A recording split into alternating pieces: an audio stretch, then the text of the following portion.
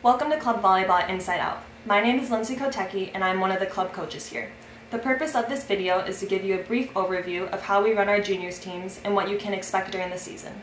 Hopefully we will be able to answer most of your questions during this video, but if you have any questions after watching, please feel free to contact us. The club director for Inside Out Juniors is Rick Rixey. Rick is the owner and president of Inside Out Volleyball and is also the head coach at Muskegon Community College. In addition to directing the club, Rick also oversees all the training of the teams, plus he coaches one of the Inside Out national travel teams.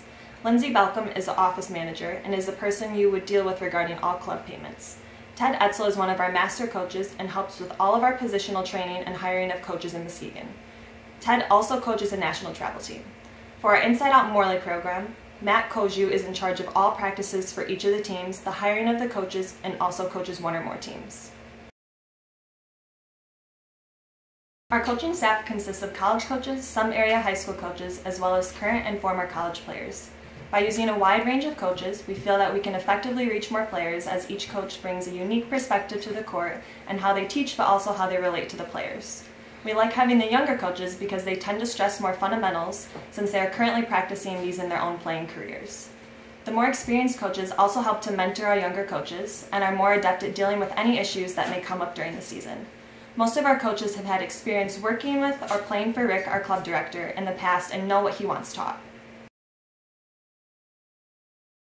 We offer two levels of travel teams, national and regional. Also, the schedules vary slightly from the, the Muskegon teams to the Morley teams. National teams practice two to three times a week and play mainly two-day events.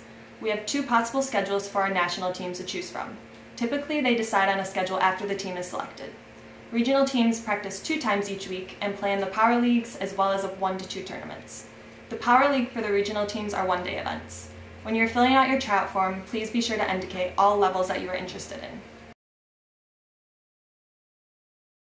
All of our teams compete in a combination of power leagues and tournaments. During the winter club season, all of our teams participate in either the two-day open power leagues or the one-day club level power leagues. During the spring season, our national level teams do not play in the power leagues, but instead play all multiple day tournaments.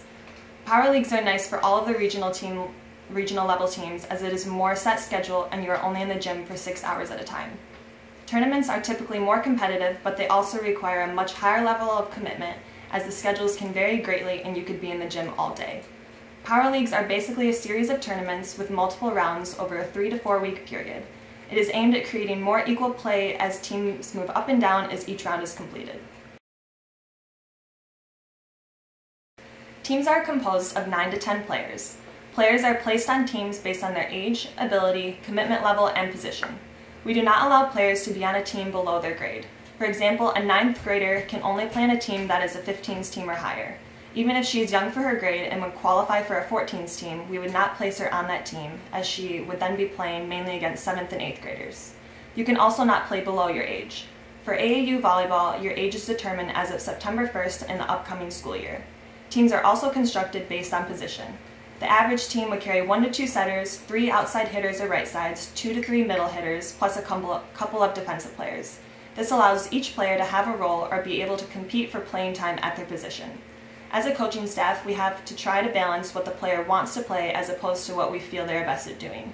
A player might make a higher level team playing a different position than what they're accustomed to playing in school, but we also recognize that sometimes they have to stay with that position as it is necessary for their school team. Be sure to indicate on your forms if you must play a certain position. If you must be placed with another person for rideshare purposes, be sure to indicate this on your tryout form. We do not encourage this, especially for the higher level teams. If one of you is more skilled than the other, you'll be placed on the lower team since we will not move someone up levels um, just for rideshare purposes. There's a $30 tryout fee. If you paid for the winter tryouts, you do not need to pay again in the spring season. Tryout forms can be turned in at the first day of tryouts, or you may mail or email them in prior to that. We encourage each player to attend as many tryouts as possible so we are better able to judge the level where they will be most successful. We run our tryouts more like a practice where we do give instruction during the drills. Sometimes it takes a new player a little time to get used to our drills. We try to look for the potential we see in each player's rather than just the skill level that they are currently at, knowing that each player is receiving different levels of instruction based on the school they are at. The more we see a player, the greater the chance that they will see their full potential. Age determination is as of September 1st of that club year. We do not allow players to play below their grade levels. Each club has their own policies regarding playing time. Some clubs require that everyone plays the same amount, other ones will only play the, the best players during competition while three to four kids never see the floor. We are somewhere in the middle. We do not do equal playing time, never have, and never will. If you want equal playing time, then we are not the club for you. We also do not feel that some players should hardly ever play. Everyone should play. It just won't be equal. Some players will never come off the floor, others might play half the time. It is rare that a player would see less than 40 to 50% playing time. They still might sit out a game, but overall everyone should be participating on a regular basis. Keep in mind that playing time is earned. If you never come to practice, it is going to be difficult to earn playing time. If there is ever a playing time issue, the following steps must be followed. First, player talks to the coach and asks what they need to do to earn more playing time. Second, if that does not resolve the issue, then the parents would contact the coach or club director to set up a meeting which would include the player, parent, and coach. Third, Parents may not approach the coach before or after a match to discuss playing time or how their daughter is being utilized. Must wait 24 hours before contacting the coach. Things such as strategies, substitution patterns, or other people's playing time are not open for discussion. Only those things that are related to your daughter's role on the team or how to improve are open for discussion. Our player fees include everything associated with the cost of the team, like court fees and tournament entry fees. It does not include any uniform expenses, travel costs, AAU memberships, or any extra tournaments that the team may decide to add to their schedule. Jerseys are required and are the only part of the uniform that you must purchase. You may choose to add that cost onto your total club fees if you wish to do so. We do try to use the same jersey for a few years in a row, so hopefully you do not need to purchase one every year. AAU memberships must be done on your own each year. You need to be an AAU member in order to participate on our teams. All payments must be made in person at Inside Out in Muskegon, online, or by mail. Do not make any payments through your coach. The $30 tryout fee should be paid when you come to tryouts. You may pay that ahead of time online as well. We do require a $200 deposit by the end of tryouts in order to be placed on a team. This will count towards your total fee and is non-refundable.